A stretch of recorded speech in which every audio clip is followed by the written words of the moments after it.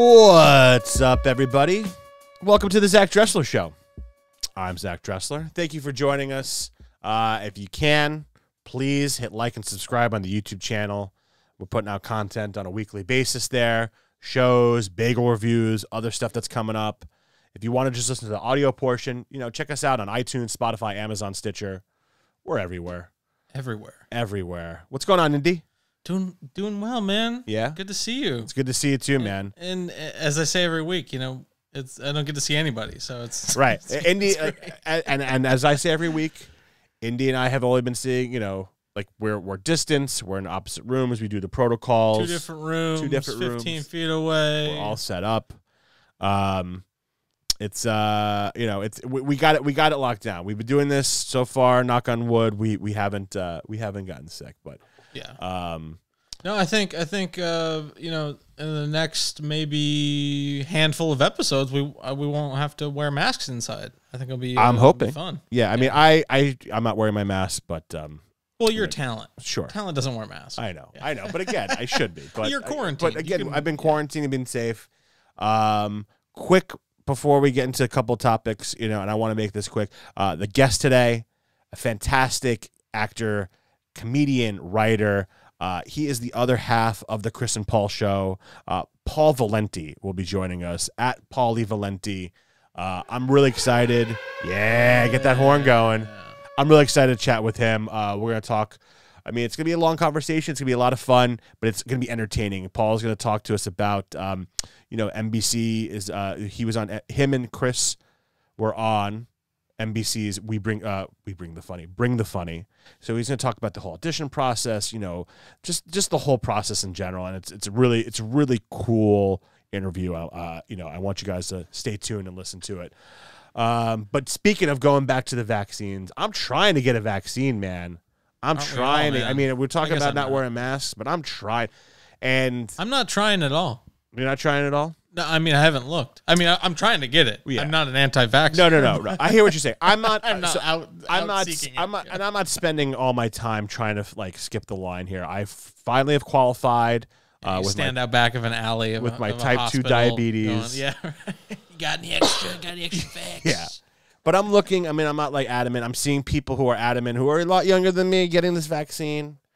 California's slow, man. I mean, it's a big state. It's a big state. It's huge. So it's it's got it's got it's going to take a little bit longer for everyone to get to. We'll get there, man. We'll get there. But seeing like all my friends in New York and New Jersey who are starting to get it, I'm like I'm getting antsy because it's just like I know. I want to get my shot. I know I want to get the vid, bruh. We all want to be out of this, man. It's it's. And, but here's the thing: we know that interesting even after this, it's not it's not a it's not a a, a pass to go and be doing whatever. You still got to be precau- You got to still got to be careful. Still be cautious. Do the precautions. Wear yeah, your it's mask. never going to be an overnight fix. No, It's we gotta wait gonna to see- dwindle away. And because we still don't know the long term science of a the virus and b the vaccine. right.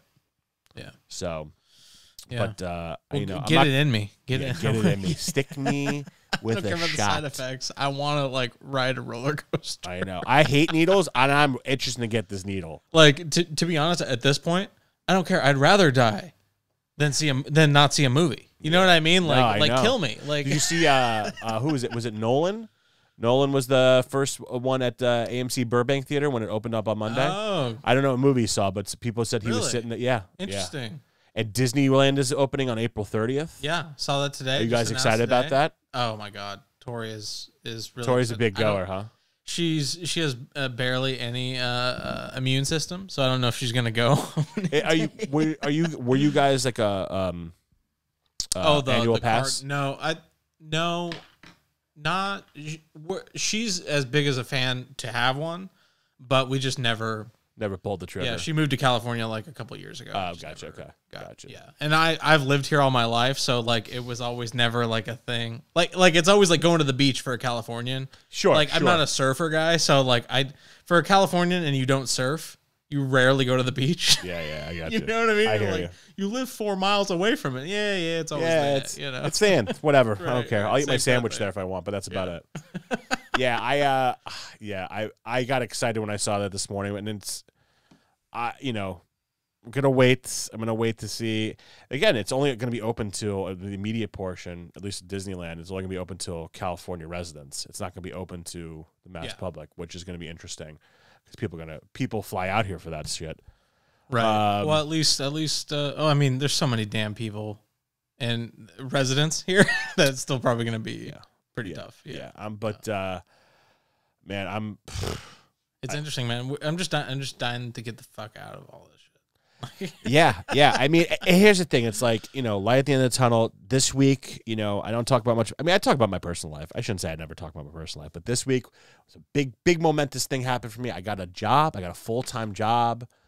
Back into thank you. Yeah, Back into the workforce. Uh, you know, I've been unemployed for about eight months now due to COVID. Uh, I was working at Universal Music Group as one of their uh, directors of global content and channel strategy, and it just when COVID hit, you know, wig over there at Universal. eh, you know, eh, they, they give out titles left and right. Um, it's a bullshit title. I was making videos for them and helping their artists make videos. If that, that's if anybody's curious of what that means, um, but it, you know, I after we went to lockdown three four months later, you know, budget cuts came and you know it's unfortunate what happened, but you know I understood and dude, it's been a process, man. Applying has been a process. Applying has been a process, and I'm thankful. It just it, it just feels like things are starting to to to move in the right direction. How fast that happens, who knows? But I just feel There's a little momentum. yeah, it Yeah. just it just it's a different vibe than 2020. Right. You know, and I feel like it's again, it's still well, in March. 2020, there was just, there was no fixing it. Now nothing. we're we're fixing it. There's vaccines. there's you- you- you vaccines. just still ignorant people. There's still dumbasses right. doing We're still going things. through the motions, but largely it's it's uh, hopefully going to dwindle away. Now they say you know with all these reopenings that there is going to be another surge, but nothing like it was. you right, know, the- right. the- and there's the other variants and all that stuff. Yeah. So I just gotta be careful. I just gotta wait until I get my first dose. And uh, you know, after It'll talking to. Caroline, you know, last week, part of me now wants that Johnson and Johnson vaccine and not the Moderna and Pfizer. I mean, talking to you about it Yeah. too. Yeah. But uh, speaking of which, real quick before we uh, J and J. uh, just a quick topic. Yeah. Caroline will be sending us some bagels from New Orleans. Oh, really? Yeah. She asked me how many. I told her, you know, not to go overboard. I told her to send us six. Yeah. I told her says two sesame, two everything, and then two of her choice. Mm. So give it a try, and you know, however she wants to mail it. Some Cajun. I gave her yeah, style. some Cajun, some clam baked bagels. I a don't know, that would Dr. be John horrible. inspired uh, uh, uh, second line tuba. Yeah, shape. exactly. Yeah. Some some. eat, I think it's etouffee. It's just a trombone. It just shaped like a trombone. That'd be great. Can I get an etouffee bagel? Which is I only know what etouffee was because it was a dish that I had when I went there. yeah. But um, French Quarter, y'all. French. Quarter, Yeah. y'all. But speaking of vaccines, like I, I, like I said, I really want to get one. So this way, I can see this guy that we have coming up here. Paul Valenti is going to be joining us momentarily. Uh, I, you know, I just, I want to go home. I want to see people. I want to see friends like Paul, like Chris, like you know, my friends from growing up. I, you know, I want to see shows. So, um, yeah, man, yeah. Let's uh, let's let's dial up Chris. Have a lovely conversation with him and uh, enjoy enjoy the uh, enjoy the interview. Unless we typically saw each other. Uh, I was I actually was I was I think the last time we saw each other was I want to say 2013 or 14. I think it was like I I was I did a show with you guys. I was doing stand up or something. I was right before I moved to LA. And Yeah. I think that was the last time I saw like you. Well, I've seen Rob before. I've seen I've seen Rob out here, but I think it was like the last time I was with you and Chris and Rob and Adam and like the you know the whole you know even like like Luis and, and all those guys from City Hall. Yeah, So, it's um, been oh my gosh, 2014. dude, it's been a, it's been a long time, man. It's been a long time. I have to say this: we don't look we look the exact same age. Nothing has changed. You you Like haven't aged. You haven't aged. Neither of you. No, Like, I I, I've like like I I've like shrunken and gotten bigger and like you know like gotten fitter. Like I've changed physically size wise, but I Oh, haven't. me too, though. Like I, I- fluctuate. I have I have a weight that I always go to when I'm not eating healthy, and then I can sustain it. Uh, but then I was like two summers ago, was it yeah, 2018? I got down to 190. wow. I got down to 190, and that was the lightest I've been since I don't know since you know, I was probably when I first met Chris. Wow. Yeah, and then I ballooned back up to 230, and my doctor's like, "Dude, See, I haven't been. I haven't been. Hold on. Are we rolling? By the way. Okay, cool. We're just gonna go with this. I haven't been 190, dude, since high school. Like when I left high school, I was at like when I like my fittest I was in high school was 178 and I was wrestling. And then my like throughout high school I oh. fluctuated between 180 and 190. And like I was like I, then then I was like I'm so I'm so big. And then when I when, I- like I mean the heaviest I've ever been was 290. And that was- Really? yeah yeah no, that's 230 for me." I did two two ninety was when I did um Zach and me. Okay, and, yeah, yeah. And I, I put on all that weight. I remember after like even even when I came back from doing doing the whole you know um shooting, I just started eating normal again, which is still not healthy, but just like normal portions and normal things. And I Mm-hmm. lost like like twenty pounds because my body's like, oh thank God, thank God you lo- we can't we can't maintain this. But do And you? it's harder when you get older. Oh, dude! And I still have ferocious appetite. I know. I don't get full. Yeah, it's the same with me. I could I could honestly eat forever. This this quarantine killed me because I would just, especially the first three Oh, four yeah. months, because I was just like I'm bored. I'm watching shows and I'm just eating eating eating eating eating. Yeah, well, I did. yeah, well, I mean, like two thirty is like well for the pandemic, I got up to uh, to two thirty eight. That's what I got up to. And uh, uh, our our mutual friend at D Blotman, Oh yeah, E McKay now, she's married. yeah. Um, I always know it's Dia Blotman though. yeah, oh yeah, oh, yeah. Um, D uh was doing uh Weight Watchers, so she's like she introduced me to it. So I'm like, that's great. Tell me more about it. And then I started doing it, and then I got my mom into it, and so my mom and I really bonded over quarantine, and we started doing Weight Watchers together. Um, and we, my mom and I lost ten pounds, and Okay. then uh, my friends, uh, my friends and I were. Uh, hanging out. Uh, we we we wanted the social. You know, my friend have a friend in New Mexico, a friend in Boston, and a friend uh, a couple towns from me. And since we couldn't hang out, we go like, "Hey, let's send each other beer and then talk on Zoom for however long we can." and then that got really bad because like my Friday nights are like I'm gonna drink, and then I would like start snacking, and Yeah, then my mom's like start started losing more weight, and I started like eh, going up and up and down and up and down. Yeah. No, it's the same, it's the same with me. I, I haven't done. I've never done Weight Watchers. So this the, that was the first time you ever done Weight Watchers. Was this last past Yeah. year? Interesting. Yeah. I've heard. I've It heard works. interesting thing about it. It works. it works. yeah no absolutely i know it works i mean i've seen people work do it um i just i never i never got i remember i remember there were wrestlers in high school that would do slim, fl- slim fast when they were trying to cut weight like i just gotta have a can of slim fast and then go to gym you know go work out So all right, so all right, so we both wrestled, right? What class were you? The one. i so i could have i could have wrestled at 189 but Uh huh. the my my senior year uh the 189 pounder decided not to wrestle so everyone had to bump up a class so i had to wrestle 215 which at, you know like i'm like i'm sitting at the time i was like that should be so hard. You don't realize how much like you know tw- like 15 16 pounds makes a difference when you're wrestling. Oh yeah. yeah oh yeah. it's huge. So i my senior year i wrestled there were only two times i wrestled at 189 and then every other time i was wrestling at 215 and when i wrestled 189 i was i was fine. I was able to handle myself but i was handling some beast at 215 and one time there was one time that senior year because our heavyweight and heavyweight i don't i think it's the same for you it was 275 between 215 and 275 that's what a Mhm. heavyweight is. And so we had back-to-back meets. Our heavyweight was there the first night the second the, the second match the next day he got sick so he couldn't make it. So i had to bump up to two to do the heavyweight.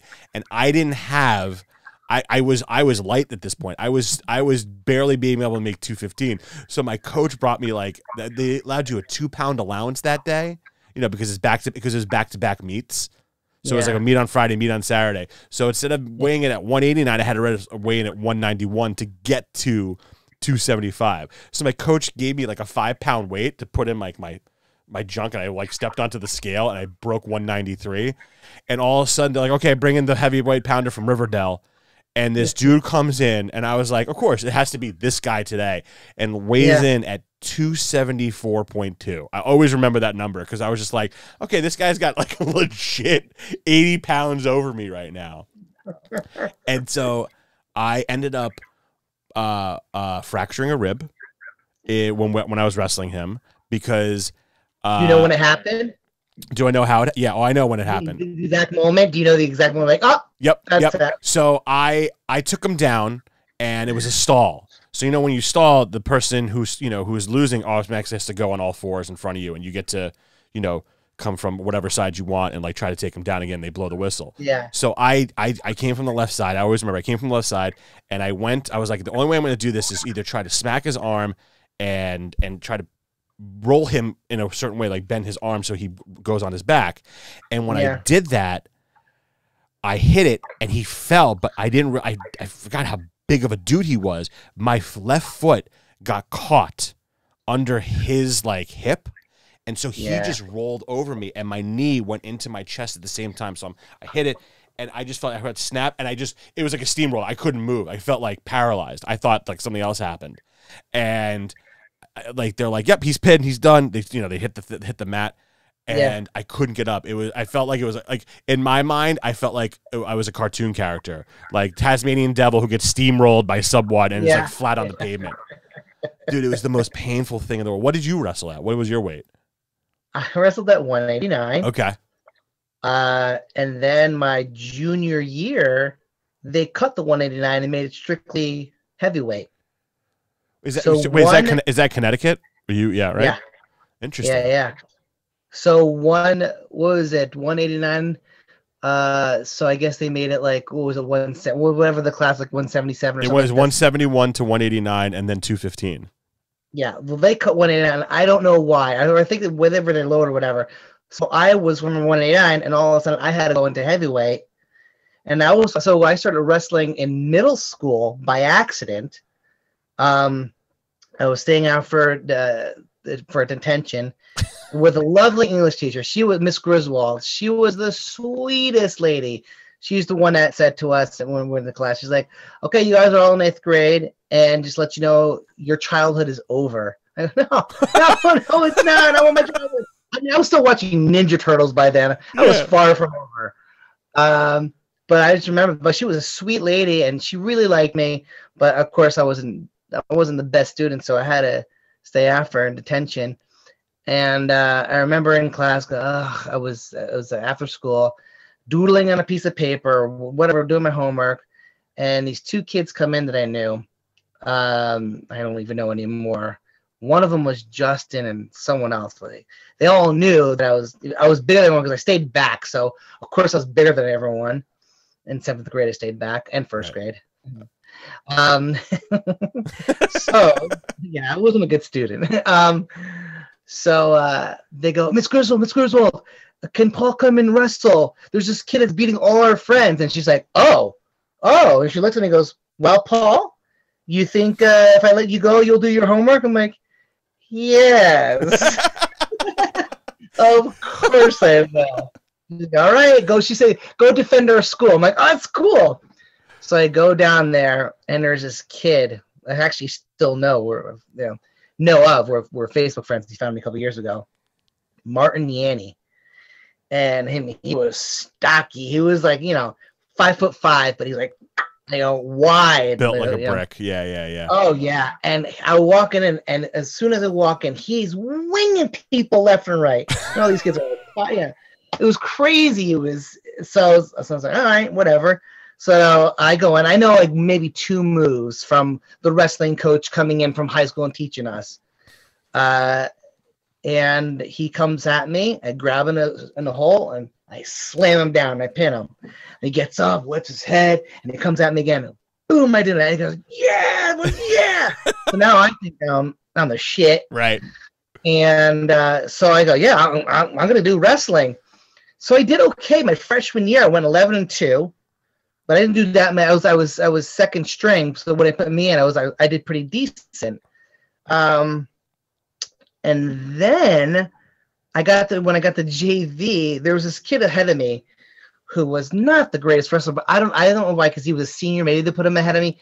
Uh, but he was Usually how it works. Usually how Yeah, works. he was like a, a just a dumpy or whatever. He's- He wasn't. He had no build to him. At least I was a little stocky. I mean, I wasn't. I didn't look the greatest in a singlet, but at least I had. Whoa, some whoa, whoa. kind of- Let's be honest. Who looks good in a singlet? Like even even when wrestlers, even when like professional wrestlers wear singlets, like the Big Show, it's Kurt like. Angle looks great in singlet. Kurt Angle looks great. All right, Kurt. Angle, and I'll give I'll give Andre the Giant because I don't think anything Yeah. else would look good on that guy except for a whole like singlet.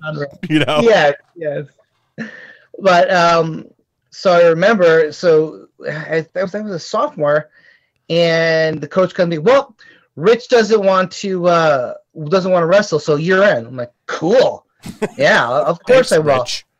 So, but Rich no, didn't know, but I didn't know that the kid that I was facing was Allstate.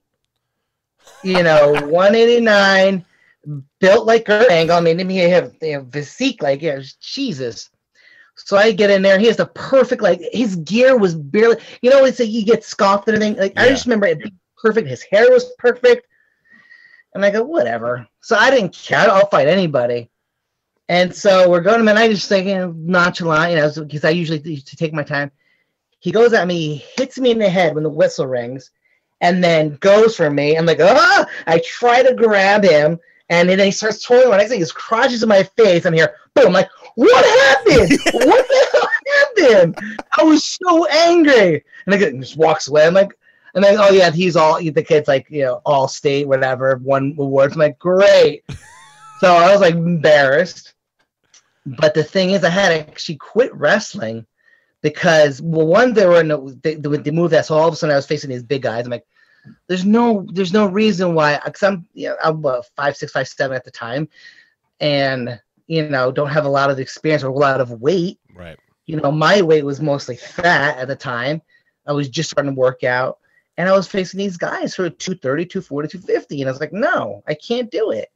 But um, there's this kid, uh, Dave Carroll, that I used to wrestle with, and we were we were partners, and uh, I always had an advantage on him. I just I was I was better than him.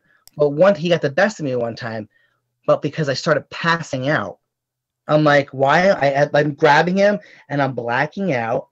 I go, what the hell is going on? And he grabs me. He's beating me. He's like, are you messing? He whispers to me, are you messing with me? I'm like, I, I don't know. I can't breathe. I can't breathe. so he let me go, and I fall. And the coach comes up to me. He says, What's going on? I'm like, I, I, I don't know. I can't breathe. I can't. So they took me to the doctor. My blood pressure was through the roof. No way. Yeah. Fuck. So I had high blood pressure. I was like, oh, that's what it. I dove to the side and I grabbed water and I threw it on my face because I just felt like it was horrible. Yeah, yeah, yeah. And then I laid on my back, and that's when it was like, so yeah. So then I had to quit. I had to quit um, both football and wrestling. Yeah, they're intense. They're intense sports. Because I used to just go home and this is my action. Refridge. That was my that was my exercise. The fridge. Open Right. the fridge. And I grew up in an Italian household, and there was always leftovers. Yep, yep. yep. You know. I love how Um, I love how I love how though the teacher. It felt like your, your the start of your wrestling career was like the beginning of like a Yeah. superhero Marvel movie. Right. Your teacher was like, "Well, you can leave detention if you take care of the bullies outside." You're like, "All right, well, I guess I'm a good guy now. Let's do this." yeah, yeah, yeah. That's what it was. It was cool. She was such a sweet lady. She was like, "Yeah, you got the attention, but you know what? School pride." She's it was, it was great. I love those So- teachers. I love those teachers. Yeah, I uh when I got asked to do it, I had like I had no idea how to wrestle either. And I was the only wrestler that had to eat to put on weight. Like I was the only one that never had to like starve themselves Really? or cut. Yeah, all my friends were like, "You son of a bi-" like I like all my friends were like, "We we love you. We're not hanging out with you during wrestling season because you're the lucky one that doesn't have to to cut weight." I had friends that would go from like you know they were 165 you know most of the year and they would cut down to 145 hmm and I was like, God, that's you know, it's crazy. Yeah. It's crazy. It's absolutely nuts. Yeah, But- we, we we had a freshman year. This kid, uh, Joe, ah, I forgot his last name. He was a freshman, and he was fighting at 103, but he was go. He was hitting. He was he was uh, going against his growth sprout. Right. He ballooned up to 160 pounds in sophomore year, from 103 to 160. He was in. He was in uh the locker room spitting before weigh-in because he couldn't. He was just trying to. He was go. He was hitting 105. Like nope. Get back in there. Go Yeah, in the go shower. sweat. Go do down. something. Go lose some weight. Yeah, it's nuts. It's nuts. crazy. Yeah. A lot of the times our 103 our 103 pick, we would forfeit. We would forfeit. I think I think my junior year, my senior year, we actually got a female to join the team because she Mhm. was under 103 and it was just, you know, like she she knew how to wrestle a little bit, Mhm. but it was, you know, from a coach's perspective it was like to, to get the points. To get Yeah. the points. I I, think wrestled, I wrestled a woman at, at 189. Did you really? wrestled a girl. She was really good.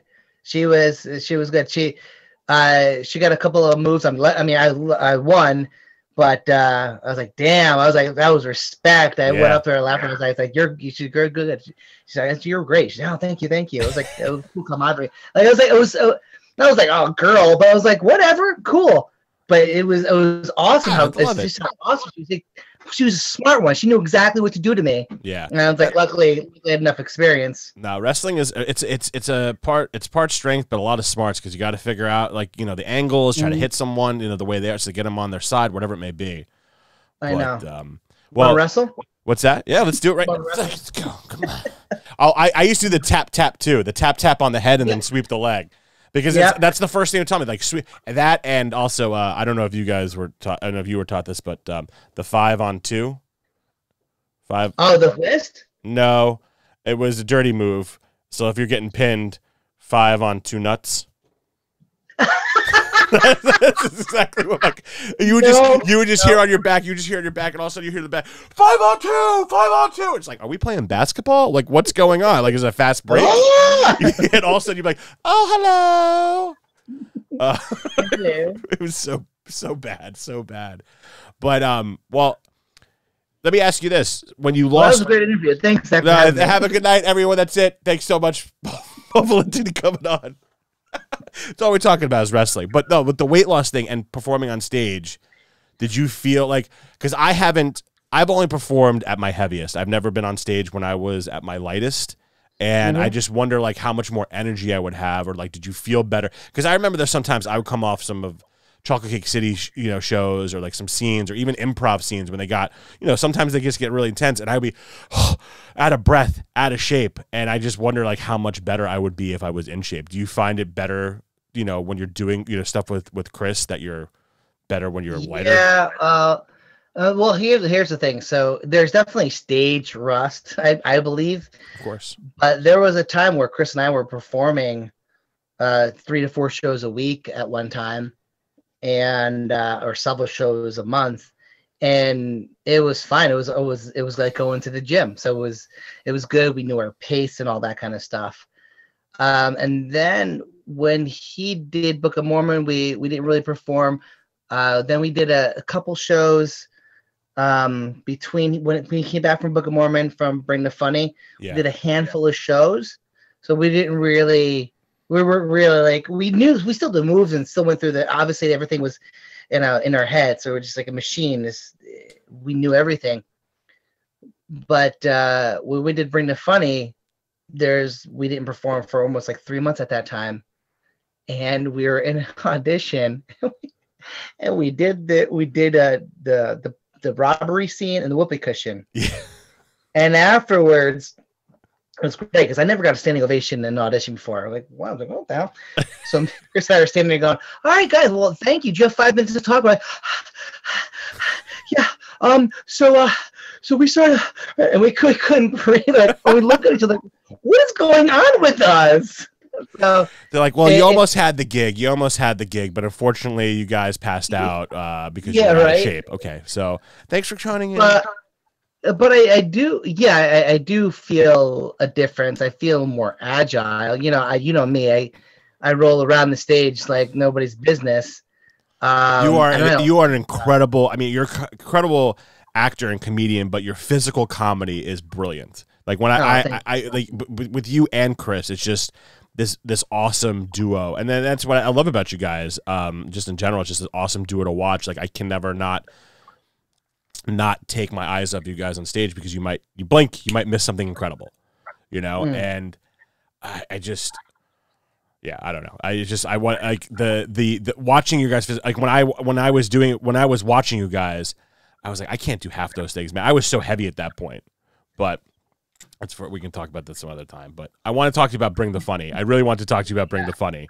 um because I, you know what was you know, I know I know the story what happened with the Book of Mormon. I heard that from Chris, but I'd really get to, you know, I wanted to talk to you more about, you know, the Bring the Funny. What was the audition like? What was that process like? How did that come about?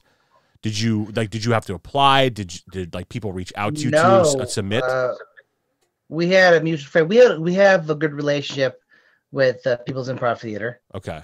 You're very aware of it, Yeah, I love that uh, place. That's, that's been a staple. Unfortunately, they they're one of the big theaters closed down. Yeah.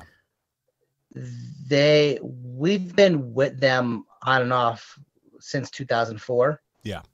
And we've always had a good relationship with Ali. And then every artistic director that came in would say, "Hey, you got to check out Paul. You got to check out Paul. You got. I'm sorry, not Paul. Chris and Paul. You got to check out Chris and Paul." No, just And me, it- just me, just Paul. Forget Chris, just Paul. Paul Paul. Um, well, I would network, and I mean, Chris was always like uh, behind the scenes creating the the the Chris and Paul show in his head. Like, the way the way I, I think of it is like me playing Chris's head. That's what I think the Chris and Paul show is. Got you. And uh, so I would be like, but I would be the business person. I would be calling a pit, talking to people, getting to know everyone. Well, our friend Jeff Lapine, who we used to perform with in the National Comedy Theater, ended up being an artistic director in like 2008, I believe. He says, I want to get you guys here consistently. I'm like, great. So we started this run where we did uh, seven to eight shows a year Yeah. for two and a half years. We did, I think we did a total of 16 shows within the span of two and a half years. All new, all the all, every a show, a new show every time. Every each month, we- I remember it was incredible. Yeah. Uh, it was it was a, it was fucking awesome. Because it's from a, you know from a, a stage performance to be able to do because again when you're a stand up you do the same material almost night in and night out. You change jokes here and there. But when you're doing Yeah. sketch like to be able to write material and crush it I feel like on a on a monthly basis is it's it's a hard thing to do. I mean unless you know you have a, a, a team full of writers behind you like an SNL type of thing. When it, but when it's just you two it's it's you know there's a lot of pressure on that I feel. Uh, yeah, yeah, there is. Um, so, so yeah, so go bring the funny. So that basically what happened is, the, again, knowing the artistic director Alan uh, Alan McRae, uh, he saw our show. He loved us. He wanted to, he wanted to get kind of get us more involved with the pit because we were just starting to make our comeback. But Chris and I were like, we need a new show. We need something different. We didn't. We we felt we were moving sideways and not up. Like every time we did a show, fine, it's great. We we'd sell out, but like, okay, now what? We're we're we're doing a show. We're kind of every time we did a show, we would write you know three or four new bits to pack it, and we. But it was good to perform again. They're like, "Oh, what do we do now? So Alan reached out to me, emailed me, says, "Hey, I have someone who's uh who reached out to us and looking for sketch groups. I want to put your name in the hat before before uh, I let everyone else know, um, because they're gonna I'm gonna send some sketch troops out there. So I said, yeah, sure. And it was it, Chris and I have been so much. we- We've been like, yeah, we sat we had meetings with Comedy Central. We've had meetings with IFC, a couple a couple different places, and we're like, you know, when when you first hear like, oh, this is amazing. Oh my gosh, this is it. This is it. You know, we had so many. This is it. So when this came around, I'm like, yeah, cool, whatever yeah kept, kept tapping, put my stuff in, like get, get the email.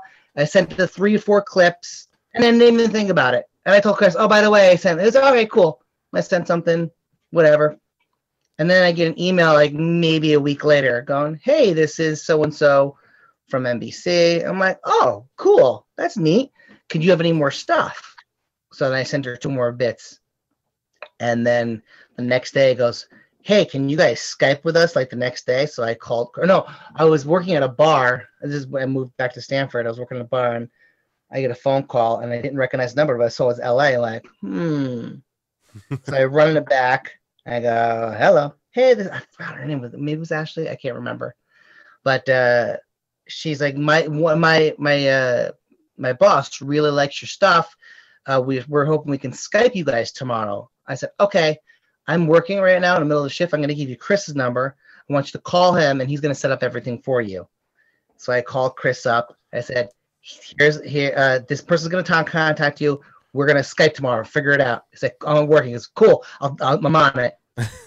so uh, so the next day, and we go and set up our thing and they they skyped us and we talked for about an hour and they just want to know our background and all that and it was around november of 2018 and this is just before the holidays kicked in right Yeah. they're like, great. Oh, we love you guys. You know, this is what we're doing. We can't name the name the show just yet, but we were looking for our unique acts. Uh, we we really like what you guys have.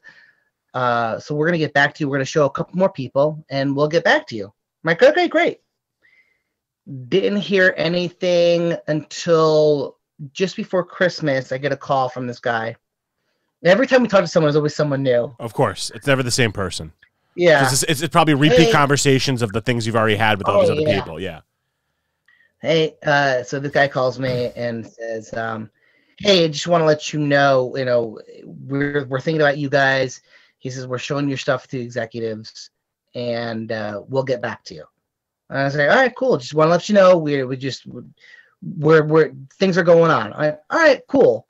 Then I don't hear anything for all the rest of December, all through Christmas, all through New Year's, and now I'm at work, and now I'm getting a little antsy. I'm like, "Uh, "Do I do this?" I was talking to a guy at work. He's like, Paulie, Paulie, you gotta call him, Paulie. Man, come on. He's like, eh, I don't know. He's, he goes, I don't know if I should push. He's like, no, Pa- Paulie. He goes, you've been persistent all you. you the stories you tell me, you've always been persistent. Call them. What, what are they gonna do? Say no? Like, yeah, you're right. What's the worst they can do? Like, we're gonna get mad at me? Oh, Right. Oh, he called. well, forget them. We're, we're about to put them on. Oh no, they called. Screw them. So I was like, How all right, so dare they be determined? How dare they be determined? I know. So I, I called the guy back and he goes, Hey Paul, I was just thinking about you, so sorry.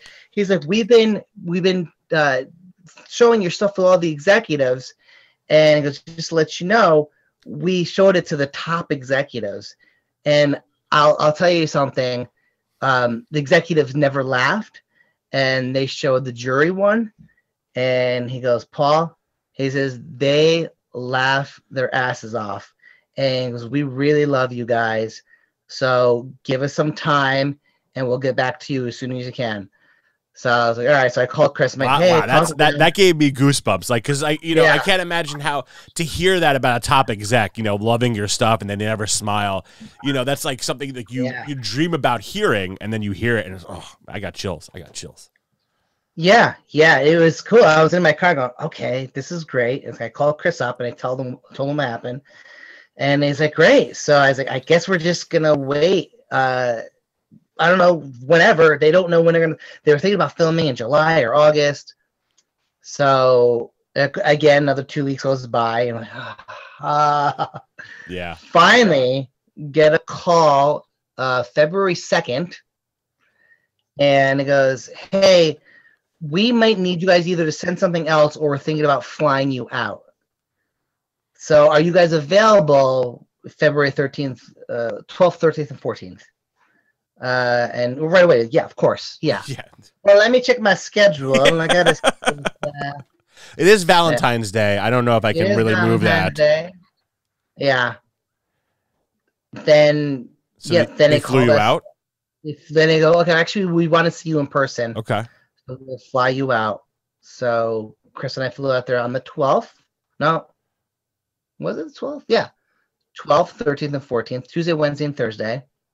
Uh, and we get there and uh the they it was it was the Burbank uh, Burbank Hotel and our friend Evan was there and uh he's great. Evan's always been uh, when, when it comes to rehearsing or anything we did in LA. Evan was our, our was our guy. Right. He's seen us through the years. Um, so Evan picks us, and we had no idea where we're going. So Evan gets, and I say, hey, do you mind? I don't know where this hotel is. Do you mind picking us up? It's a Burbank hotel, whatever. He said, we'll be at the Burbank airport.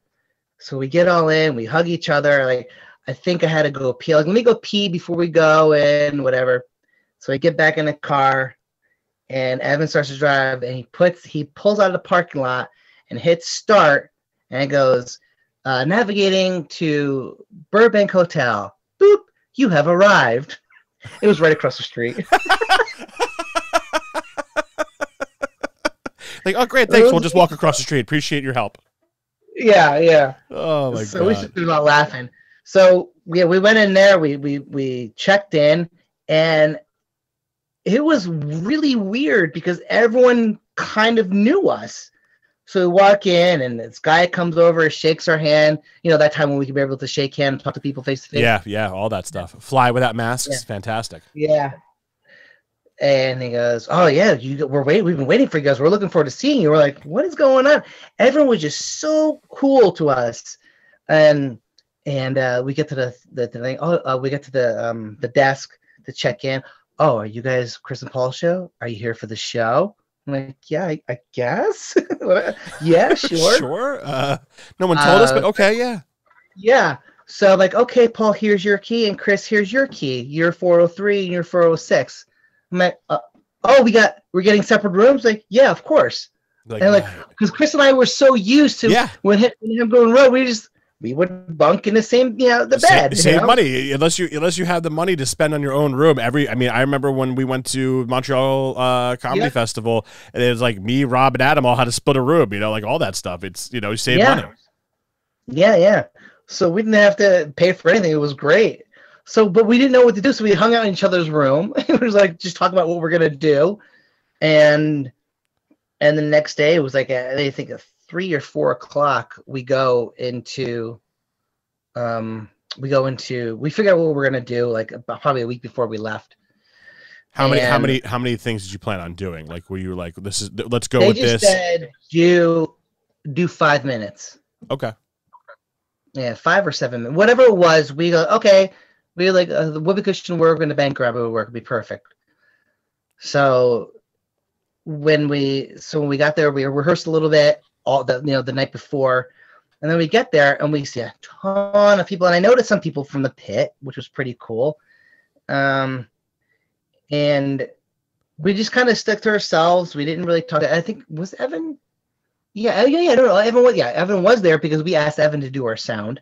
Nice. So, so when they get there, they they okay, Chris and Paul, you're up, and we were in from one conference room. We had to go to the other conference room, and Evan had to go in there first because Evan knew the sound. We we- Evan knows when to hit it, so he said, "You want to tech?" Like, no, we got a guy. Is that cool? Yeah, sure, no problem.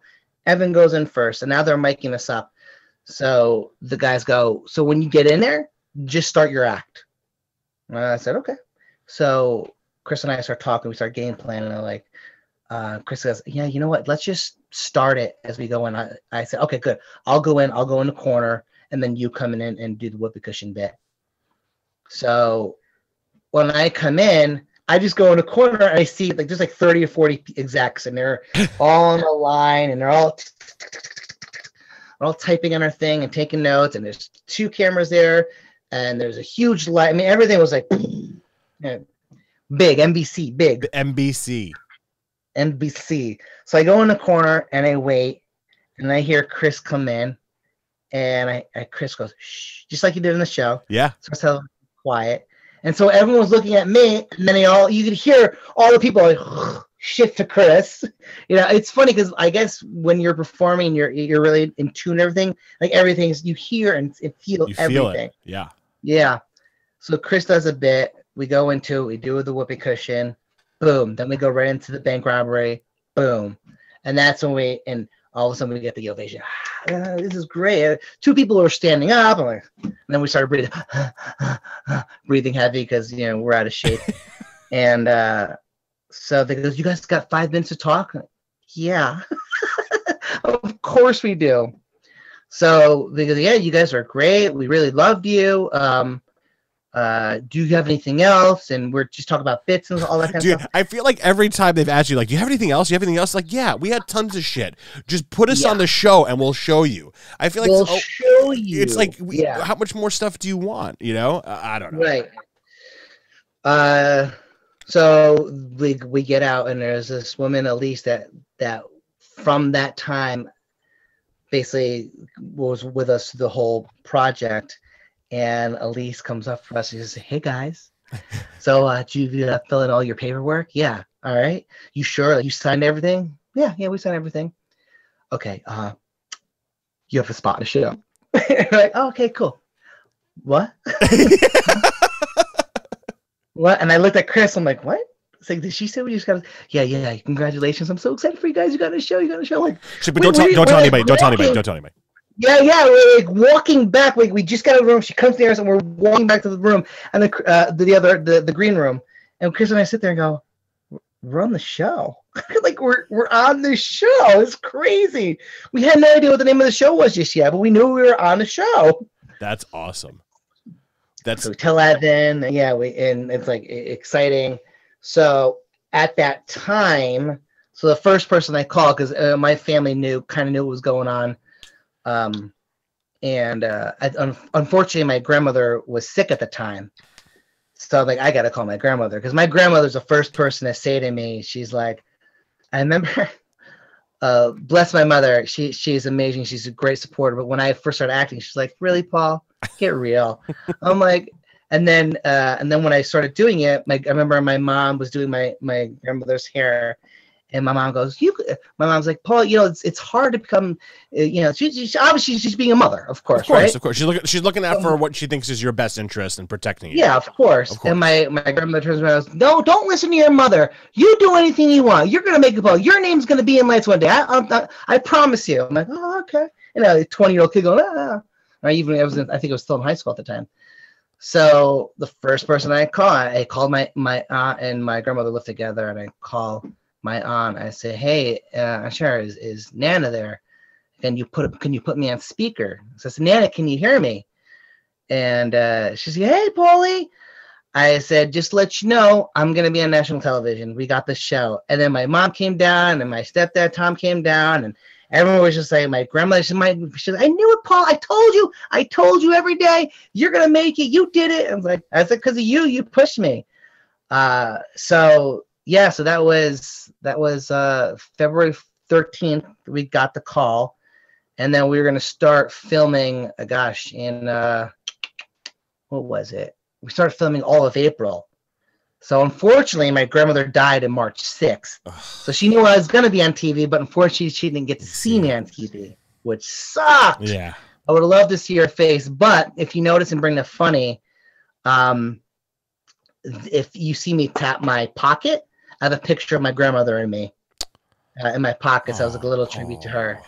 So yeah, so it's I remember it's it's you know, not to be uh, dramatic or, No, or down, not at all. But, but when when she when she uh, when she died, we all went to the uh, we all went to well before she died. She she you know what it is? You break your hip, but she's 92. I mean, she lived an amazing life. Up until a week before she died, she was still running up and down the stairs.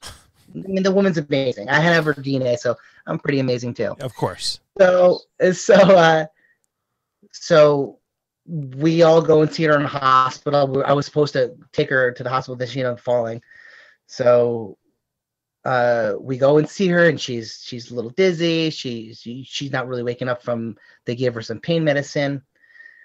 So we all left and then as soon as we left like 20 minutes later we get the call and i was supposed to have a meeting with one of the producers that night so i had to call her and say yeah, I can't do it tonight. My grandmother just passed away. She's like, oh my god, I'm so sorry.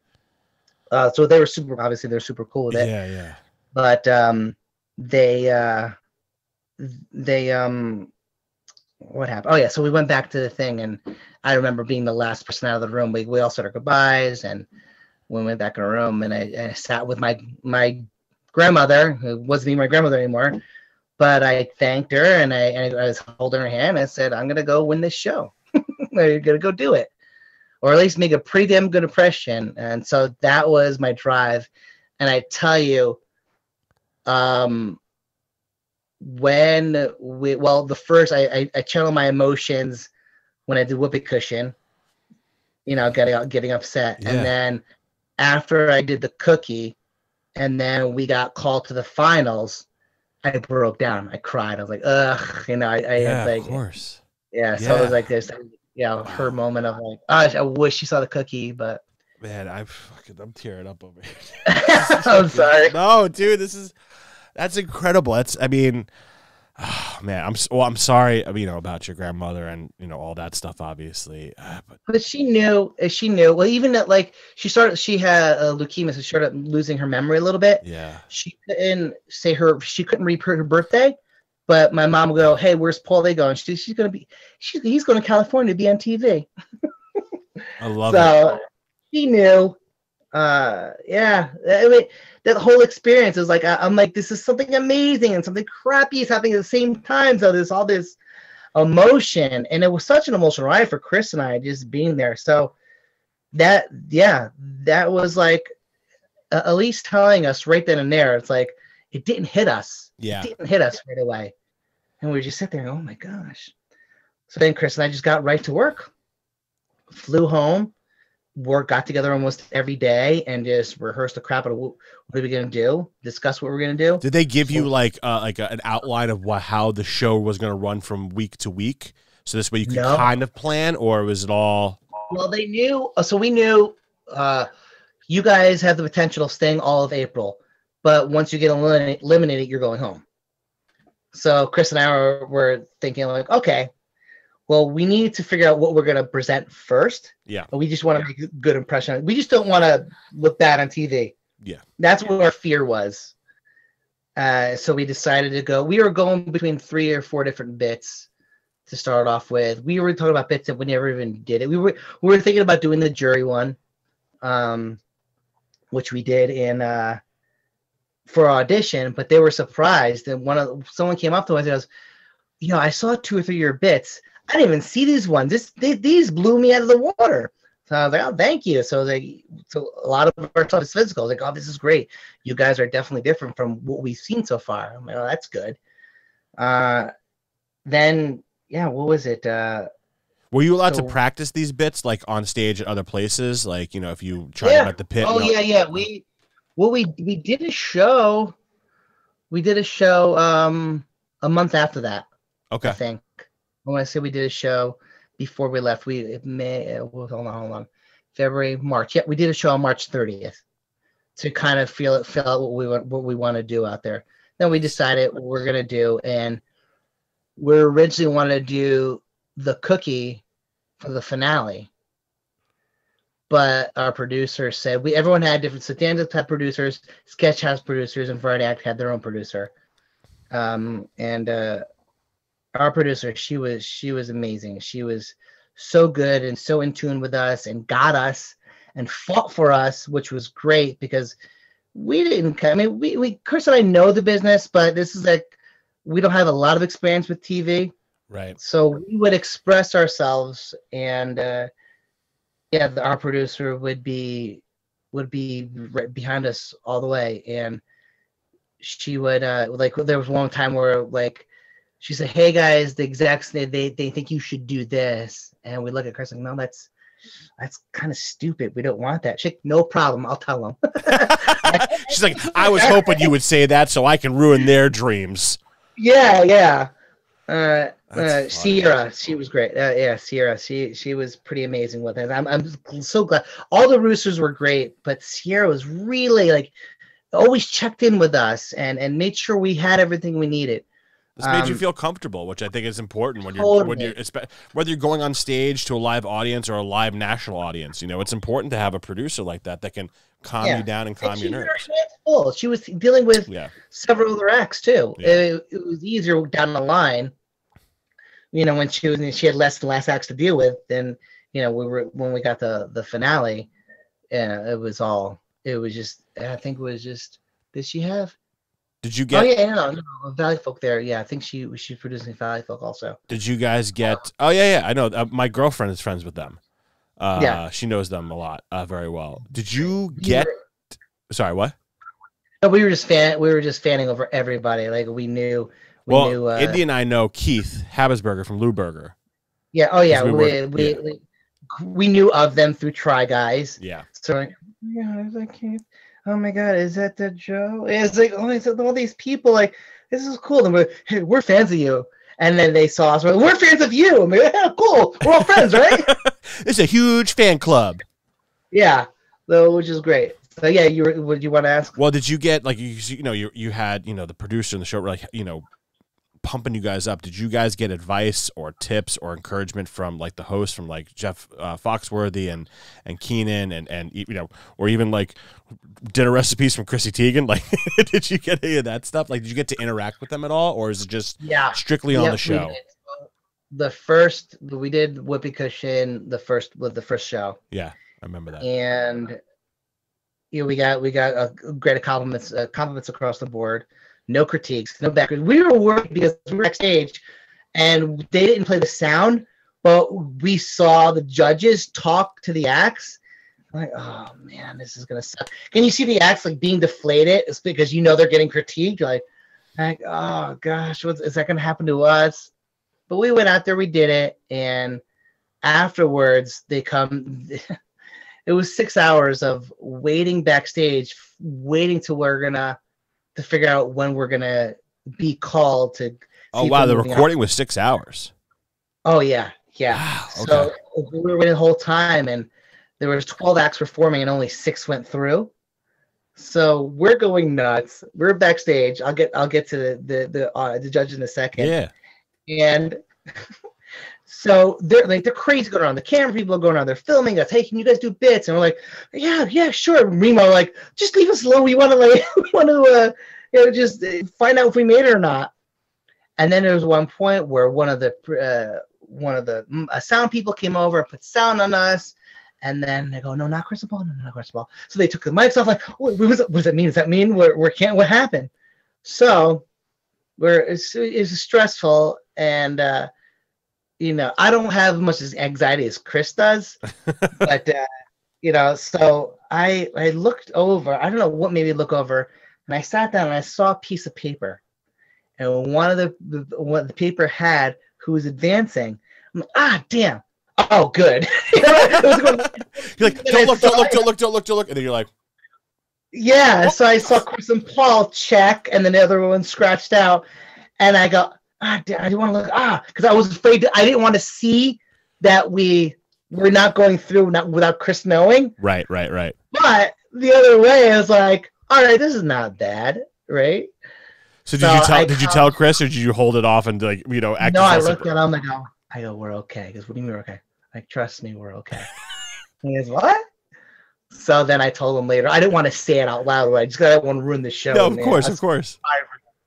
So I told him afterwards, like, oh gosh, like, I didn't want to hold it from you, but I didn't want to, like, I just wanted you to relax. Like, trust me, we're okay. And then we We went got on. this. Don't worry about it. I got a guy Yeah, who's gonna get us through. Everything's fine, huh? Relax a little bit.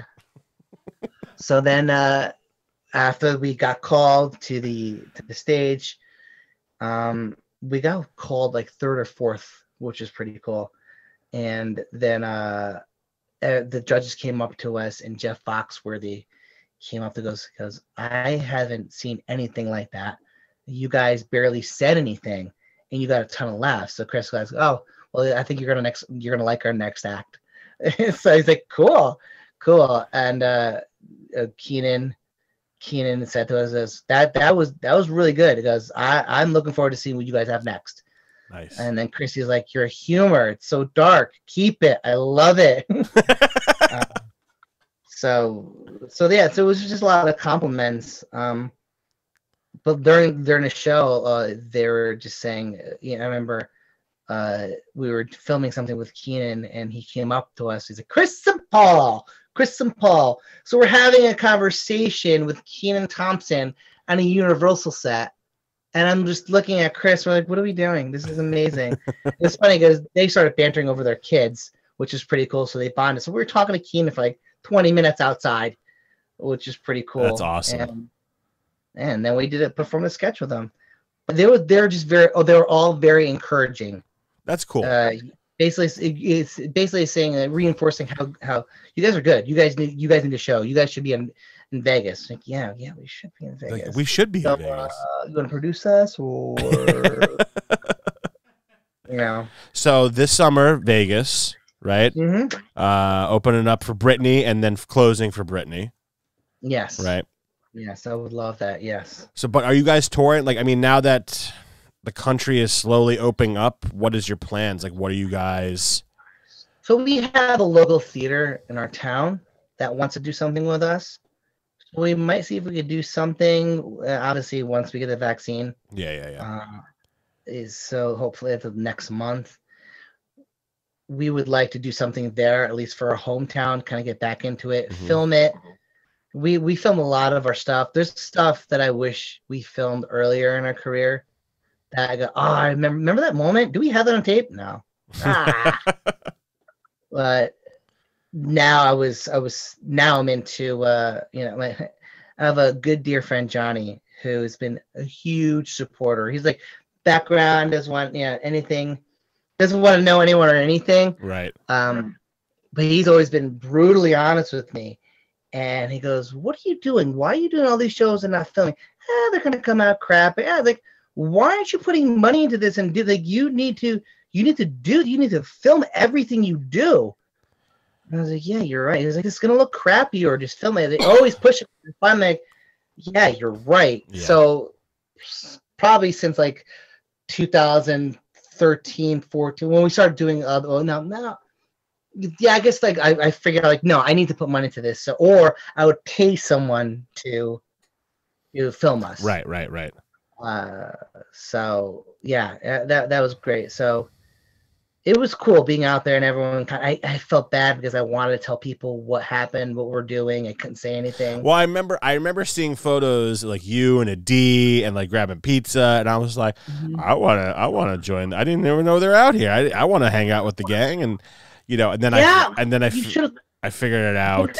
would, yeah I know. I should. I should have. I should. I'm. Ter- Here's the problem: is that like as I've gotten older, I've just been terrible with like keeping up with people. Like even with a D, I haven't seen a D. I think in person since 2018. Oh really Yeah, and it's it's it's a shame because we we live very close to one another. I just think it's like as I'm getting older, I'm becoming more like a hermit. Like I don't go oh out. yeah no i get it I Like get 2020, it. No, yeah, even though as bad as it was, I didn't mind not having to go anywhere because I didn't do it. You know, I didn't want to go anywhere in the first place. yeah uh, uh, d and i uh, we're we're tight and evan are tight so i have like la friends that i go to like automatically like yes of course we're gonna you know, see them but we would try to we try to connect with all our la friends so next time we're out Next there we're time. gonna pull you out of your house I'm down but for it. yeah yeah that that yeah Adib's been always amazing super supportive I mean Yeah. we've, we've got a lot of support for it was so good it was almost like justifications like we know and not to not to brag but I, I I knew of course I know how good I I was reminded remind Chris like we have this really good thing with, a, with this really good act the right eyes need to see us You And- guys, you guys are fantastic, and, and it's and it's coming from a place of not just love, but just honesty from me. You guys are humble, you guys are honest, and you guys are really great with everything you do. And I remember when we were performing together, you know, the the the chances that we got to be on the same stage, you know, whether it was Chocolate Cake City or independent stuff or improv, and Chris and Paul, I just always felt better going into a show knowing you guys were going to be one of the acts because I like I knew that everyone was going to have a good time at this Mhm. at- you know at, at whatever show we were doing because you know you can go into you can go into some places sometimes you're like oh this person's performing or this group's performing it's going to be an interesting night or but I knew like every time we, would, it, you guys just always fucking deliver you know and Oh, thank you, thank you. We tried. You know, there's a lot of times where we just fall on our face, but whether it will be a new bit or not, but we just yeah, we love doing it. And we loved meeting other people and being influenced by other performers. yeah That- That's why I set up Sketch Block. I didn't know anybody. I knew a few, few handful of people, so I'm like, "Oh, you know other people who perform? Get them over here. I'll book them." that's what I would do, and that's how I met you guys. Yeah, I, I, I, I need, I miss, I miss doing live stage stuff. I, you know, I stopped doing it. I think when I moved out to LA, I used to do a ton of it when I was in Australia. I came back in New York, and I think it was like when I was coming back from New York, going, you know, from Australia going back to New York. It was just like. I felt like I had such a rush from being in Australia because I was performing so much in front of great audiences. And you know, when you Yeah. go to, you know, when you're performing in New York, there's some nights you got great audiences, and then there might be a week of shows where you get like maybe five, six, seven, eight, ten people in there, and you're like, ah, this is, this is the grind, this is the grind. But I, I, I, you know, I miss doing, I miss, I regret doing it, not doing it enough. But I'm hopefully like, I, I got to change my mind going forward. Um, but you said something interesting before, and you know, I, I know I've kept you on almost an hour now, so I'll let you go That's soon. fine. Don't worry about it. But I remember uh, it's interesting what you said before about like wishing you filmed stuff earlier or filmed everything you've ever done because it's, it would only benefit. I, I wish I did the same. And do you, I mean, you know, this age of technology, do you kind of wish we had this like Instagram, Facebook, TikTok, like when we were younger in 90s, like in high school, because it might have changed the or, or quickened our career path in that aspect, you know, or pushed us to a different level? I don't know. That's a good question. Um, I want to lean towards no, Okay. because I feel like we know you don't have like these influencer influencers. They could just you know pop a thing on and all of a sudden they get you know 60 60,000 likes or whatever it is. We our validation was hearing the crowd. Yeah. That that was that was that was it. If just for us, I love love love the live stuff. Uh Do you think? Yeah, do you think I people? Do you think live stuff is losing its its pizzazz? Not just because of the pandemic, but before that, because of all this instant watching stuff, fifteen to thirty second, one minute videos that people are turning out. Because I'll be honest with you, I'll, I'll watch some of this stuff, and people are like, Mhm. "Oh, I'm a co- I'm a comic, I'm a comedian." And it's just like some of your stuff's just not funny. It's just like being some people are being bombastic or outlandish or doing some crazy dance. I feel like you guys Yeah. really, you know. It, it, your stuff can be adapted not just for stage but all different platforms. Okay, so live, nothing's gonna be live. I think when anyone, you take anyone to go see a live show, I mean, if if, if they're into theater, that is, Yeah. there's nothing like it. That's yeah, true. yeah, you can laugh at a TikTok or Instagram or something funny and then share it with a friend. But being at a live show, whether it be a concert or anything, it's, you you check in with the person with you. I'm like, we're this is freaking cool. Like when Chris and I, every time Kids in the Hall came to to it. Connecticut or even close to Connecticut, Oh, we, yeah. we gotta see Kids in Hall. We got to. We got to. We watched them on TV so many times. No, I want to see them live, Yeah. and you just get this feeling of, oh, this is this is great. And Chris and I are like, this how cool is this? Oh, this is, and then go start. Chris and I, our minds start going, oh, this would be cool if we did something like this for our show, and blah blah blah blah. You uh, know, so that's nothing's ever gonna be live. I think people don't appreciate it until they see it. Go see a live show. Go Yeah. see concerts. Go see music. Go get it. I'm glad I got to see Michael Jackson live.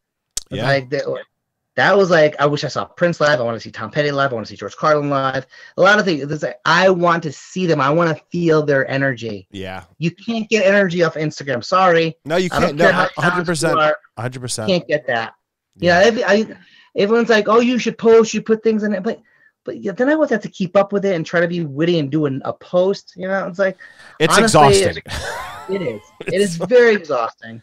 Because and wri- I- I writing the sketches and putting all on stage is a, a whole other beast and it's a whole other you know uh, mental capacity you gotta you gotta you gotta maintain. And then this whole medium is a different thing. And I just Yeah. I I, I miss doing. I I think live is the best. You know, the, getting the best. And like you said, you just you find out more about stage and theater and comedy and acting through live than you I would a video for sure. Right. you know do you think i mean how do you how do you so how do you see that i mean i guess how do you see So everything thing, Chris and I, a lot of our uh, community friends are starting to do shows, or they've been doing shows, especially stand, mostly stand up. right Chris and I are very immersive. We use the audience. When we we're in Charlotte, which is a year ago, a couple days ago, can't believe it. it's crazy Uh, we we're in Charlotte, and when we landed, uh, we found out that there was two cases of coronavirus. Like, are you kidding me? Like this is like it's happening. Like this that that's where like okay, what's gonna happen here? So Chris goes, well, people might be a little weirded out because we had 30 cancellations. Luckily, we still had a crowd of 60, which is great. So, but we had like Chris, like me, me- people are maybe afraid.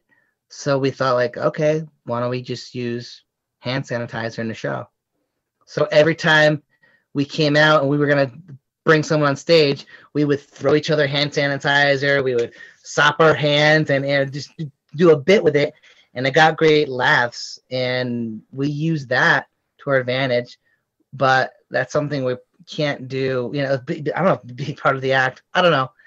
So uh, once we're able to use people in, in the audience, I think it's going to be helpful. We have several bits, but I think that using audience members, I mean, I just think it's a it's it's a, a hu- whole unique thing that we do. yeah oh absolutely.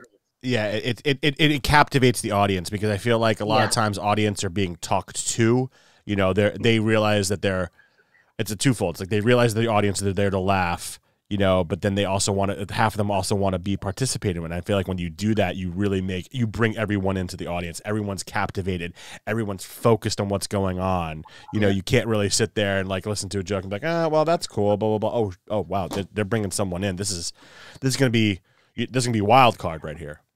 Yeah, I think, and it's funny how you do that because you know, you're looking at a screen, and you're just kind of you know going through it, going through motions. But when you're live theater, you're sitting there and you're looking at everything. We're we're, we're we are giving them uh, we're we're giving them an atmosphere. Yeah, like this, yeah. this stage. We're not just two people, but we're giving them a new whole new world, which you, um, which social media will never do. No, And I and I, I challenge people to go to a live show and like, meh, that was all right. I'd rather look like I would rather look at a TikTok.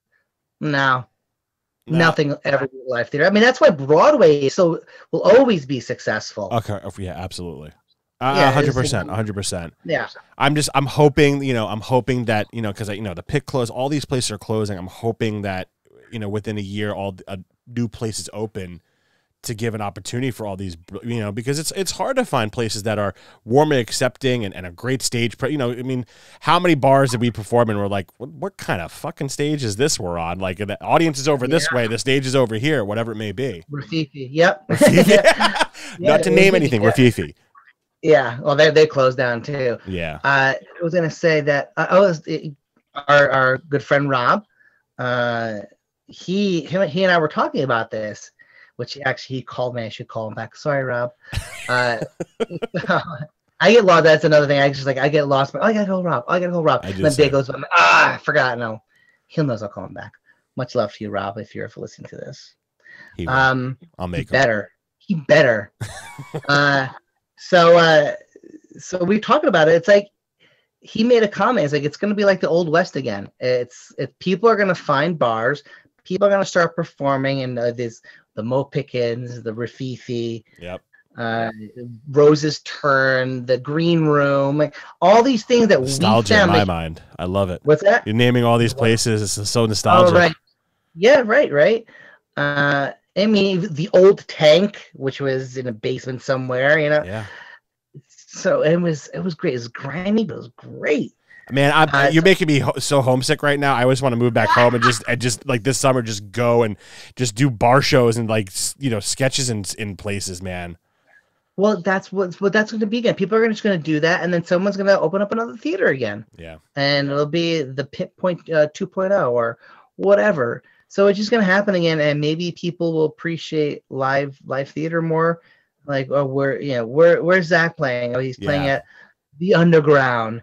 Like, ooh, what's the Underground? And it's like there's always an Underground. Every city there's there's the this Underground. is the underground. We're performing at the Underground. Come see us. Well, Yeah. one more question before I let you go. Quick question. Yeah. You're Italian, all right? Italian roots, okay? Mhm. Uh, I get to fight with people all the time, and I know pizza's not traditionally Italian, especially when you're old school Italian. But Uh-huh. being that you are a tri-stater New Yorker in my mind, I mean, you're from New York, the New York area. Pineapple on pizza, yes or no? See, I've had pineapple on pizza. Sure, so have I. Do you like it? Do you think Uh, it, it should be a staple? No. Yep. yep. Yep. Okay. That's it. That and that's and that's and that's what I wanted to hear. I wasn't gonna get No. mad if you said yes.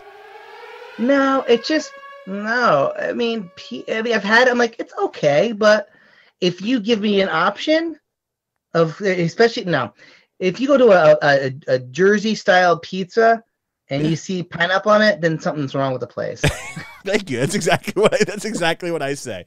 I mean, Yeah, if you're yeah. getting your option, I mean, what is your what is your go to slice? Is it plain? Is it pepperoni? Is it sausage? Is it I also every time I have a new pizza place, I have to go with the cheese first because I need to know is their cheese good? Because if their cheese is good, then the toppings will be good. My my my go to was always uh, sausage and peppers or sausage and onions. yeah.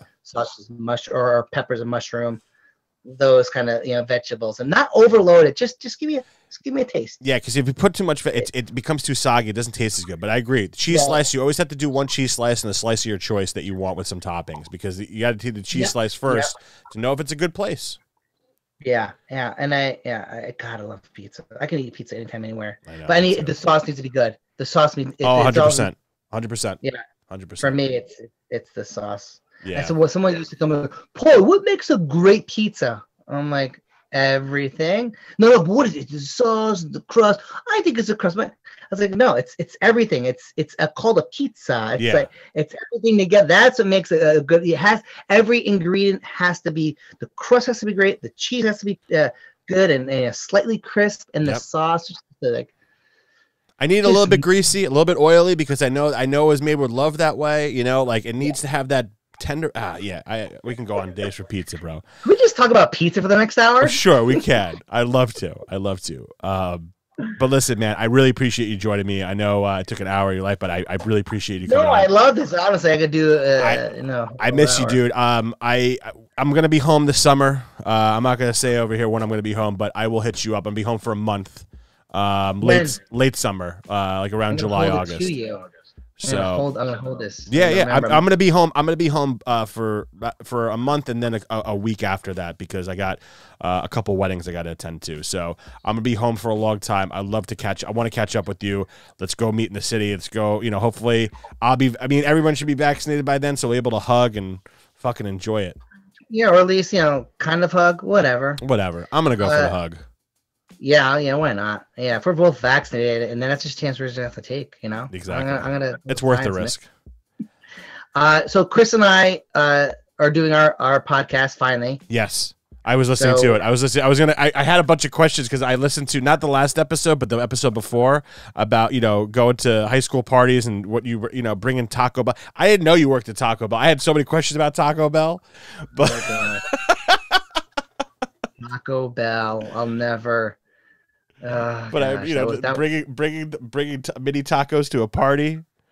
Oh yeah, I have stories for you for Taco Bell. I mean, yeah, But I love. I, I do love the podcast because I love the sketches you have in them. You know, especially the front. Yeah. So we're trying to do that. Originally, it was supposed to be when we're on tour. We're gonna do. We're gonna talk about what, life on the road and all that kind of and stuff. you will, everything. and that will happen, and that will And happen. Chris are like, oh, well, so now what do we do? Yeah. And by the way, this is the longest Chris and I have not performed ever. Crazy. In the 21 years we've been together. This is the longest. Yeah, Crazy. crazy. I think I forgot how to perform. No way. It'll be a little rust for like uh, two shows, and then you'll be fine. I forgot. I didn't even know how to drink anymore. um, Well, on that note, I'm gonna let you go so you learn how to drink, my friend. I miss you. I hope to see you soon. Go check out Paul Valenti at Paulie Valenti, and go check out uh, at the Chris and Paul Show. Right? Is it at the Chris and Paul Show? at Chris Paul. Yeah, Yeah. at Chris. Paul. Uh, no, at Chris Paul show. At Chris Paul Show. All right, go check out all this stuff, man. Uh, I'll see you soon, man. Have a great night. Thank you, Zach. Kisses.